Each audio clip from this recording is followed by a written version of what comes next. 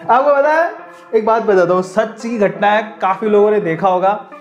There is a मंदिर okay एक ही मंदिर है, दर्शन करने वाले बहुत हैं। अब ये एग्ज़ाम्पल सेट बैठता है। आपको पता होगा, एक ही मंदिर है, दर्शन करने वाले बहुत हैं। और दर्शन करने वालों की लाइन लगी हुई है यहाँ पे। ये लाइन लगी हुई है। है ना? अब तुम पीछे पीछे यहाँ पर खड़े हो। अब तुम परेशान हो गए, तुम्हें लग रहा है कि नंबर नहीं आएगा, लाइन बहुत लंबी है। ये तो सारे फ्री वाले हैं। अगर तुमने इधर से आके यहाँ गेट कीपर को बोला, ऐसे दस रुपए दूँगा, वो तुम्हें घुसा लेगा।